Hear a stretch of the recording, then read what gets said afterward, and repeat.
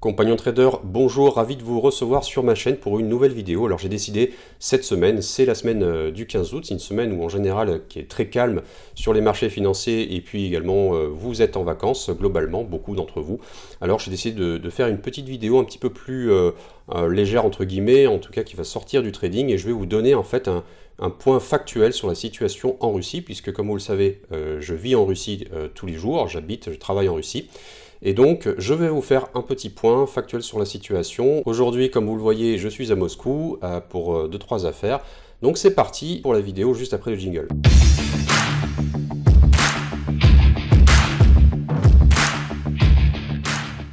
Avant de commencer, n'hésitez pas à vous abonner à la chaîne si c'est la première fois. Souvent, en fait, vous regardez mes vidéos, vous n'êtes pas forcément abonné. Je crois que j'ai à peu près un ratio de 60% de personnes abonnées, donc 40% ne le sont pas et attendent juste que YouTube propose mes contenus. Donc n'hésitez pas à vous abonner, également à laisser un, commentaire euh, et ou un like, ça fait toujours plaisir. C'est parti pour le plan.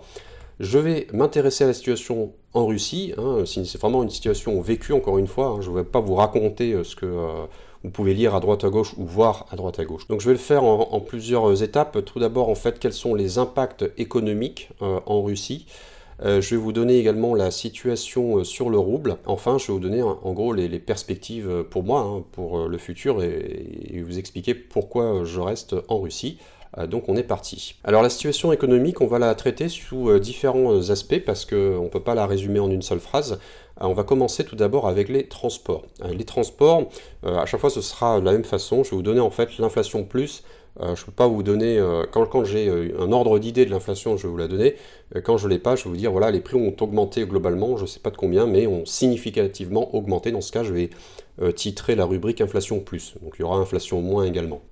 Inflation plus les billets d'avion. Sur le transport, les billets d'avion sont hors de prix, euh, même à l'intérieur de la Russie, parce que bah, vous avez moins de compagnies déjà euh, étrangères qui vont opérer des vols internes. Vous avez euh, des compagnies, de toute façon, les compagnies nationales ne peuvent faire que des vols nationaux intra-Russie. Peut-être que d'ailleurs ils ont réouvert les lignes en Moscou et Istanbul. Peut-être que Aeroflot peut maintenant, je crois, à vérifier. Mais globalement, donc les, prix des avions, donc c'est hors de prix, sauf effectivement si pour certaines destinations, s'il prend 6 mois à l'avance, on peut avoir des prix qui sont équivalents à la situation d'avant euh, le 24 février. Euh, mais globalement, pour aller en Europe, si vous y prenez 2-3 mois en avance, mettons 1 ou 2 mois en avance, vous allez payer deux fois, deux fois plus cher. Donc c'est à peu près 1000 euros l'aller-retour. si vous prenez donc une solution type avec un transit en Turquie, à Dubaï, ou que sais-je, forcément il y a plus de chemin à faire pour l'avion, il y a moins de concurrence, donc le prix augmente et les compagnies aériennes se régalent. Donc en termes d'inflation moins, voire pas d'inflation du tout sur le carburant, puisque les prix à la pompe sont stables, on est entre 0,7 et 0,75 euh, équivalent euros au litre. Euh, sur du carburant de type super euh, sans plomb 95. Donc ça fait du 0,5 euros si on convertit euro à rouble avant le 24 février, c'est-à-dire avec un taux rouble à 100, 100 roubles pour 1 euro. Donc ça fait absolument aucune différence hein, aux yeux d'un russe puisque lui touche son salaire en russe, en rouble, pardon, et donc pour lui, euh, son salaire a tendance à augmenter, le prix de carburant euh, est flat, il n'y a aucun impact sur le carburant. Euh, d'ailleurs, j'ai parlé des transports, mais j'ai pas parlé du chauffage. Le chauffage, en fait, en Russie, globalement, pour, on va dire, 95% des cas dans les grandes villes, dans les villes en général, de plus de 100 000 habitants, c'est du chauffage au gaz central de, ville. Donc euh, bah, c'est surchauffé en général, euh, ça coûte pas cher, euh, puisque la, Russie est un pays producteur. Donc là on verra cet hiver, mais voilà, globalement c'est pas très très cher de, de, se chauffer.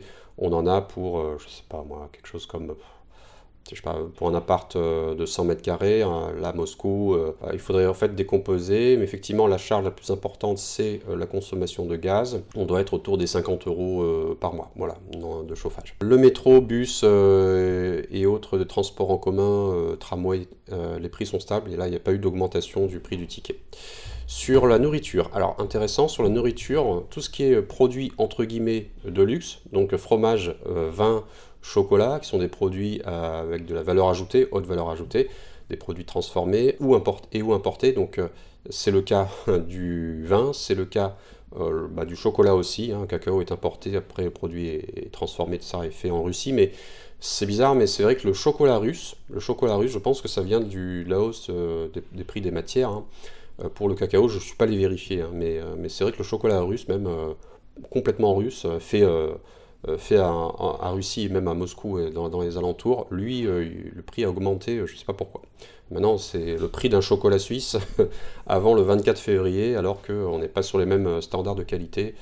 évidemment. Fromage, fromage et le fromage est fait en Russie. Donc, moi, j'ai été à un festival de fromage récemment donc effectivement, les prix ont augmenté même si la production est complètement locale. Je ne sais, pas l'expliquer parce que bon, les vaches sont russes, le lait est russe, et comme je l'écris juste après, tout ce qui est lait, œufs, farine, eau, les produits élémentaires, eux, n'ont pas augmenté.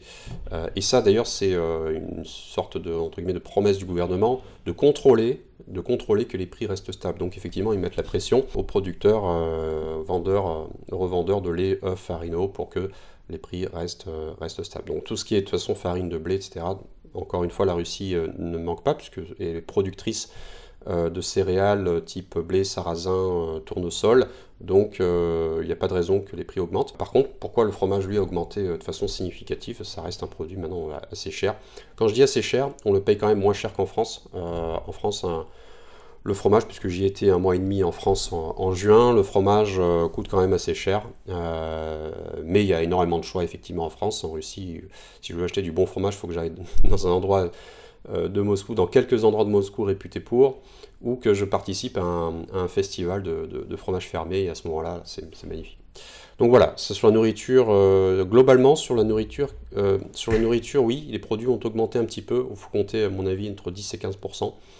Comme je le dis, bon, pour moi, il n'y a pas d'impact parce que la nourriture dans le budget euh, mensuel, ça, représente, euh, c'est pas un tiers de, mes revenus, hein, euh, c'est vraiment une, petite partie. Donc les personnes effectivement qui ont un pouvoir d'achat moindre, qui ont un salaire moindre, eux vont sentir un peu plus passer et vont sélectionner plus les produits qu'elles vont, qu'elles vont consommer, se rabattre sur les produits très peu chers. Sur les services, alors l'inflation euh, est importante sur les frais bancaires, les tenues de compte, les virements euh, worldwide, internationaux et les conversions de devises. Donc là, vous allez payer euh, parce que ben, les, banques sont sous haute pression pour maintenir, pour, garder leur activité, pour éviter de perdre leur licence. Donc les frais sont, importants. Il y a toujours eu des problèmes, hein, de toute façon, avec les banques russes. Moi, j'en avais de toute façon avant. Euh, quand c'était des flux internationaux euh, France-Russie par exemple, ou, États-Unis-Russie, il y, a toujours des questions euh, qu'on nous posait. La, Russie a toujours été sur la liste des pays, je dirais, pas noirs, mais maintenant c'est une liste rouge, liste noire plutôt, quasiment. il reste quelques banques qui sont pas interdites, mais globalement, voilà, la Russie a toujours été un pays dans une zone même s'il y a toujours l'échange hein, de documents, l'échange d'informations entre les banques, ça, ça se fait. Maintenant, est-ce que ça se fait euh, toujours autant? Question. Ben, je pense qu'il y a une réciprocité. Si les actifs euh, euh, de, des oligarques russes en Europe, en Occident sont gelés, à mon avis, aussi des contreparties qui fait que, à mon avis, la Russie doit un peu moins communiquer. J'en sais rien. Mais effectivement, les frais bancaires ont, augmenté, et, ce que j'ai écrit. là où il y a moins d'inflation dans les services, ça va être tout ce qui est services de tous les jours ben, je pense qu'il y a moins d'inflation parce que les gens en fait, euh, vont, faire, attention à, consommer un peu moins de services euh, de type coiffeur, salon de beauté euh, pour les femmes, barbershop pour les hommes, massage et compagnie. Donc là, on, a, des, prix, on peut trouver des prix très intéressants. J'ai un ami qui tient plusieurs salons de beauté, manucure, donc il m'a dit que c'était très difficile pour lui, déjà difficile de recruter, le marché d'emploi est assez tendu, on va en parler, mais difficile parce que bah, mesdames vont un peu moins souvent à la, manucure. Hein. En fait, en Russie, euh, c'est quasiment une religion. Donc, euh, les femmes utilisent beaucoup les salons, euh, les salons de beauté pour les soins du visage et, autres. Donc là, elles vont un peu moins, effectivement, elles consomment moins, et donc les prix baissent. Hein. C'est la loi de l'offre et de la demande. Produits non alimentaires de type outillage, informatique, voiture, etc. Donc bricolage et autres. alors on a une inflation globalement de 10 à 15%, c'est vrai. Euh, sur ces produits, sur l'informatique euh, parfois même beaucoup plus. Euh, si c'est parce que sur l'informatique, il n'y a, pas de, a pas de producteurs russes. on parle de, volonté du gouvernement de faire des, puces, des microprocesseurs, mais on n'y sera pas avant une, une décennie ou plus. Donc l'informatique, c'est de l'import à 100%. C'est de l'import à 100%, et donc L'iPhone, si je veux acheter un iPhone, euh, bah, vaut mieux l'acheter en France et venir avec en, Russie que euh, typiquement l'acheter en Russie où je vais le payer entre 30 et 50% plus cher. Ceci étant dit, il y a maintenant de plus en plus d'imports de Chine, c'est-à-dire que les liens euh, avec la Chine, avec la Turquie ont énormément augmenté et ça se voit, ça se voit dans le, dans le business dans tous les jours, ce qu'on voit dans les, les revendeurs informatiques, et donc on a accès à des nouveaux modèles qui sont plutôt chinois. On voit des voitures chinoises dont on m'a vanté effectivement la, le, très bon rapport qualité-prix des SUV.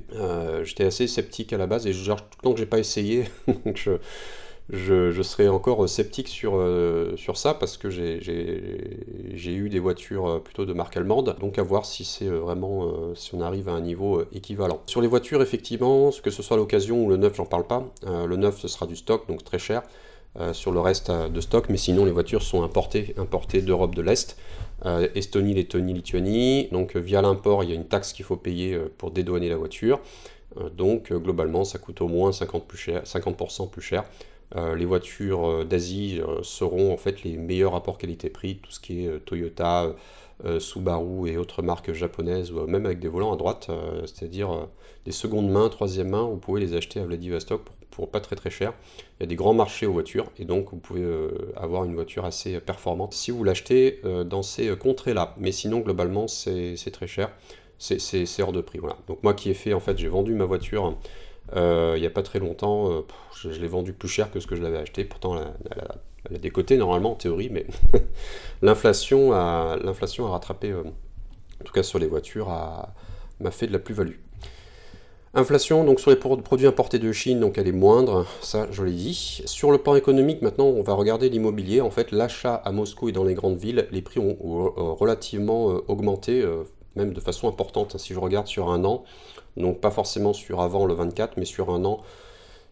Je regarde l'appartement dans lequel je suis là en ce moment, pareil, ça a pris euh, au moins 30% euh, depuis un an, entre 20 et 30%. Bon, je suis dans le centre de Moscou. Donc dans les grandes villes et dans la capitale, les prix augmentent, c'est sûr.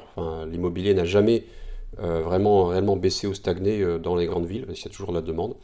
mais je pense que c'est le, c'est normal pour le, dans beaucoup de grandes villes euh, ou de capitales dans le monde entier. Je, pense qu'à Paris, on verra pas non plus les prix baisser. Par contre, sur la location, du fait du départ de beaucoup d'expatriés et de quelques Russes qui ont décidé de, temporiser à l'étranger, euh, d'aller en Turquie, d'aller euh, à Dubaï notamment, d'aller également certains donc en Finlande, les pays baltes ils évitent, hein, on n'aime pas beaucoup les Russes là-bas. Également en Arménie, je sais qu'il y en a beaucoup. Vous avez comme ça en fait des franges de la population plutôt classe bobo euh, plus, euh, CSP plus, qui peuvent travailler à distance et qui vont euh, s'implanter de façon temporaire, par peur, par sécurité aussi, j'imagine, certains, et donc ils vont se mettre un certain temps à l'étranger, donc libérer des appartements. C'est surtout ceux qui n'ont pas, qui sont pas propriétaires, qui vont plutôt partir, plutôt des jeunes, et donc ils vont se mettre à l'étranger quelques, temps, et donc eux libèrent des, généralement des appartements de standing, et donc pour ces appartements qui sont vacants, les prix baissent puisque personne n'en veut. Donc euh, là, on peut louer pour pas très cher à Moscou en ce moment. Sur l'emploi, c'est le marché euh, du plein emploi encore, hein. c'est un marché qui est très tendu, très peu de chômage, les impacts euh, sur les sanctions vont donc se faire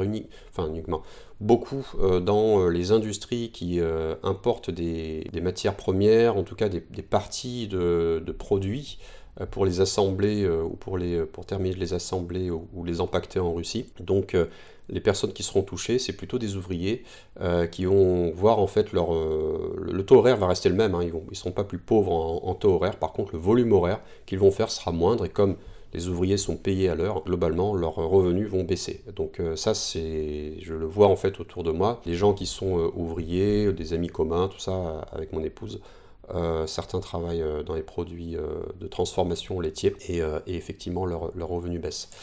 le marché informatique, ça c'est toujours en plein boom. les développeurs informatiques, tout ce qui est numérisation, là il y a vraiment une grosse accélération, mais c'est une volonté du gouvernement russe d'accélérer sur tout ce qui est intelligence artificielle, sur tout ce qui est autonomie, sécurité, infrastructure informatique. Donc là, il n'y a aucun problème sur le marché informatique, c'est toujours quelque chose qui est un marché qui est extrêmement tendu.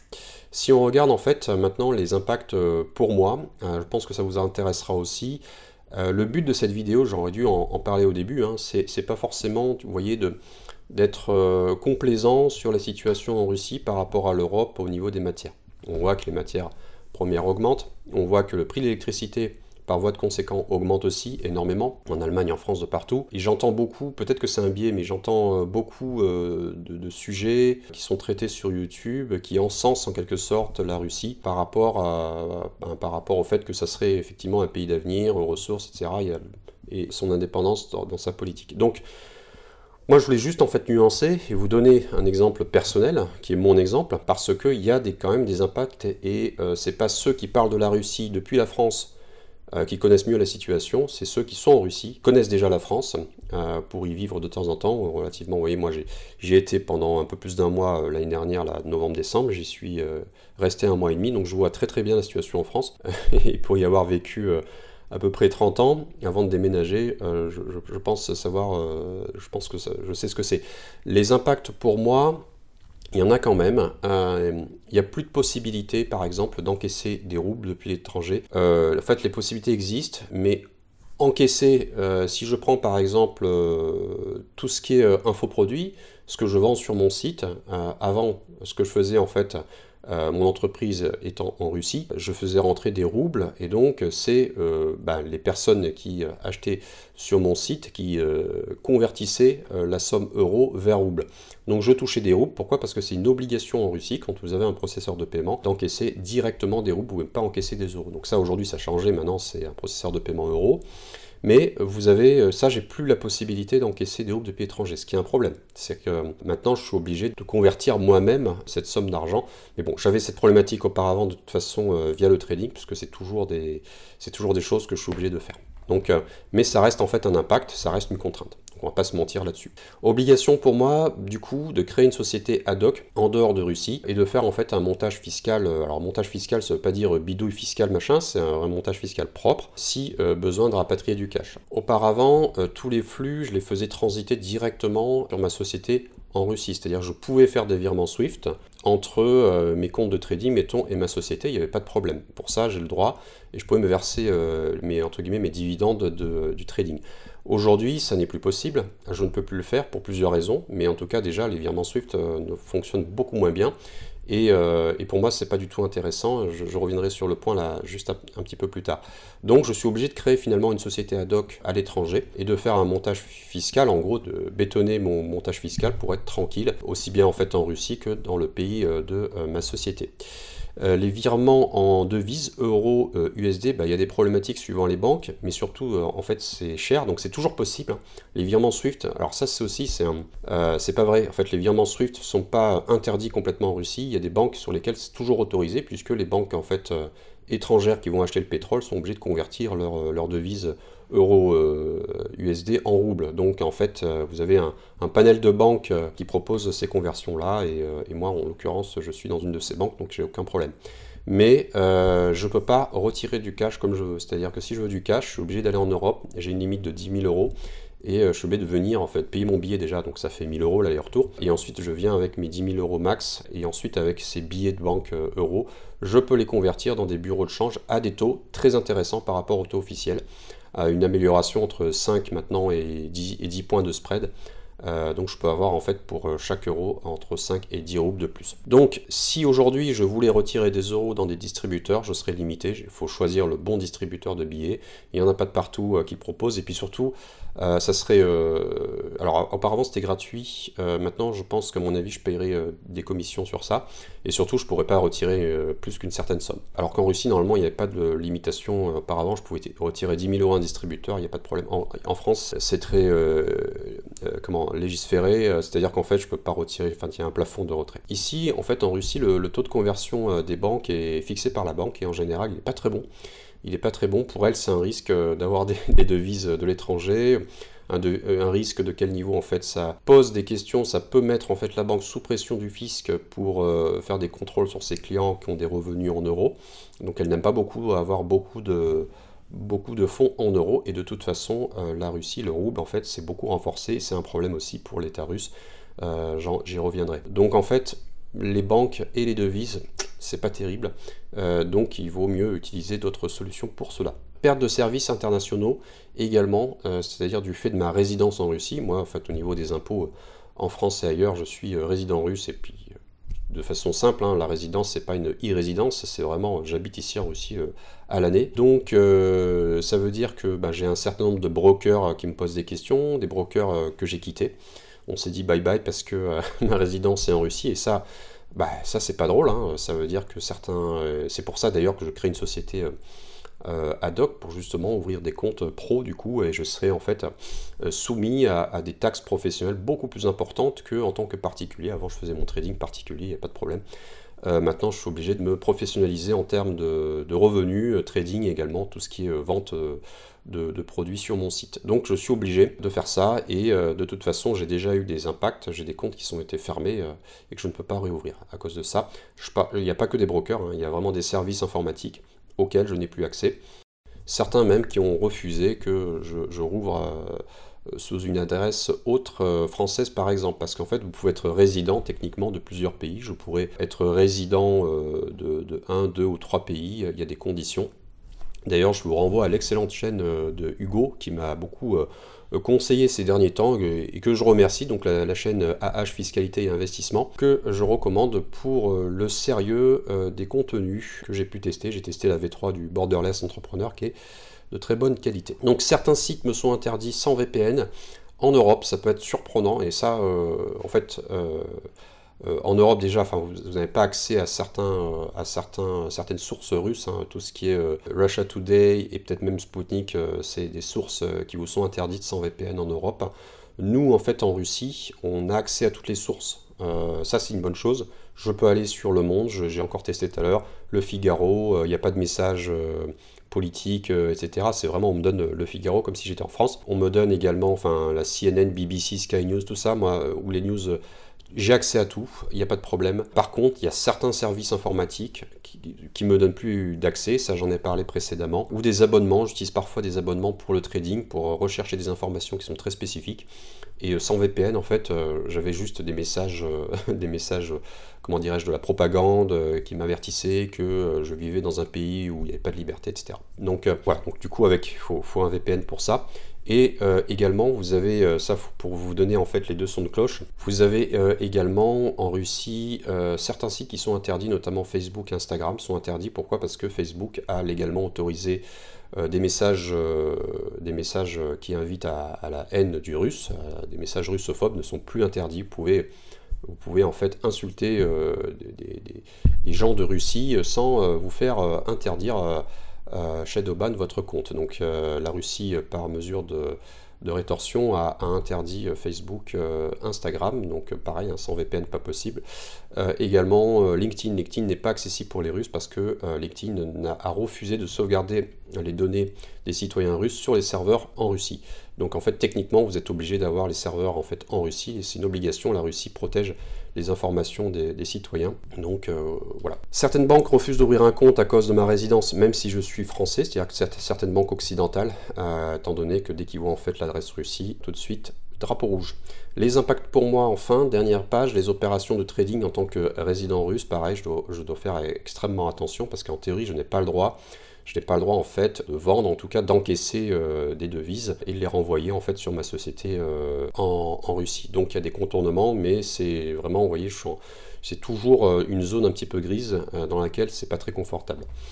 Les impacts sur le rouble à présent, donc là on a fini sur les, impacts personnels. Sur le rouble, et eh bien, vous savez que le renforcement du rouble fait que globalement il y a un impact très important financier pour les gens qui exportent des services ou, euh, ou des, matières euh, typiquement, il faut que, ben, globalement, comme le rouble s'est renforcé deux fois, ben, il faut deux fois plus d'euros pour avoir la même somme, ou deux fois plus de dollars, puisqu'on a la parité, pour avoir la même somme en rouble. Vous imaginez qu'il faut, euh, avant, il fallait 1000 euros pour avoir l'équivalent en rouble, 100 000 roubles, maintenant, bah, il faut 2000 euros pour avoir 100 000 roubles. Et en plus de ça, vous avez des prix qui augmentent en fait, donc euh, les personnes sont euh, doublement perdantes euh, de, par cette situation-là. Donc moi j'ai mis en place un mécanisme personnel de protection justement contre l'inflation, et ça je, l'explique déjà en grande partie à, mes étudiants, surtout sur les, coachings, sur les, investissements long terme. Si on regarde un graphique, je vous ai pris, je vous ai fait un petit graphique, alors j'utilisais la le terminal Reuters, là, qui s'appelle également Refinitiv. Je vous ai fait en fait, donc en orange, si la situation, c'est le rouble CHF. En mauve, vous avez euh, le rouble euro-dollar, pardon, donc euro-dollar, donc orange en haut, euro CHF, en mauve, euro-dollar. En bas, en bleu, vous avez le CHF versus dollar.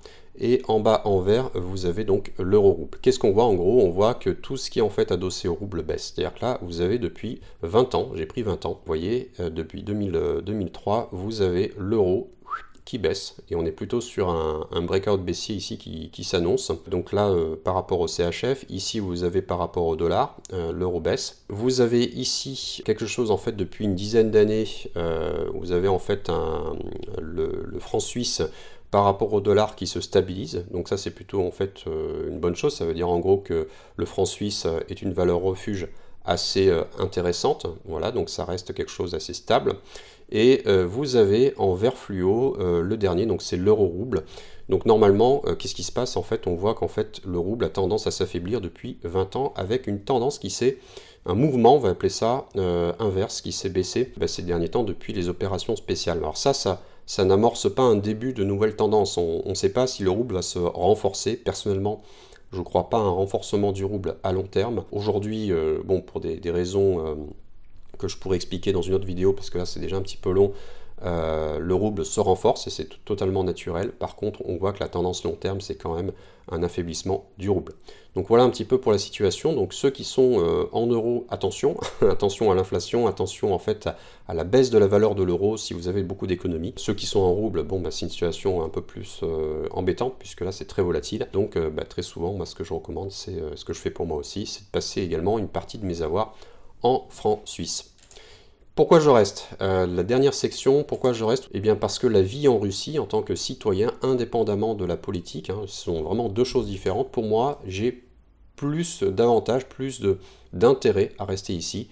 Notamment pour moi, hein, euh, je parle vraiment pour moi, après euh, on pourra me dire, m'insulter dans les commentaires, etc., Poutine et compagnie, mais je vois plus de liberté personnelle pour entreprendre, pour éduquer mes enfants, pour vivre où je veux, pour avoir une fiscalité euh, réduite euh, par rapport à la gestion sanitaire aussi, où j'ai eu très peu d'embêtements. Et donc globalement, en fait, on va dire l'État est moins intrusif dans la vie de tous les jours, dans les choix que je peux faire. et donc par rapport à là où j'ai vécu en général, j'ai vécu aux États-Unis, j'ai vécu en France, pour moi en fait, il y a plus de liberté, mais encore une fois, c'est un choix personnel. L'avenir de mes enfants, il sera entre la France et la Russie, hein, ils sont binationaux. Euh, mais pour moi, en fait, aujourd'hui, la Russie offre à ce jour plus de possibilités pour leur développement euh, personnel euh, et, ça reste en fait également ce développement, ces services autour de mes enfants, de leur développement est moins cher globalement et plus qualitatif que ce que j'ai pu trouver en France, où l'offre en fait est moins importante. Donc voilà un petit peu le, pourquoi du comment, et enfin la troisième, peut-être la troisième raison, c'est que bah, j'ai bâti quand même une grosse partie de ma vie en Russie, pas mal d'acquis euh, ici, donc euh, je, préfère effectivement continuer de rester tant que la situation le permet évidemment. Sinon, si la situation se dégrade, évidemment, comme je fais en trading, je prendrai ma perte euh, et je changerai d'horizon. La dernière slide, n'hésitez pas à venir me rejoindre sur le Discord hein, des compagnons traders. Vous avez le lien en fait euh, dans la description. Également, si vous souhaitez profiter de vos vacances pour apprendre euh, de nouvelles choses, apprendre par exemple à scalper ou acquérir le robot, c'est une bonne chose, vous pouvez en profiter. vous avez toutes ces informations là encore une fois dans la description. Je vous souhaite un excellent week-end et je vous dis à dans deux semaines. Ciao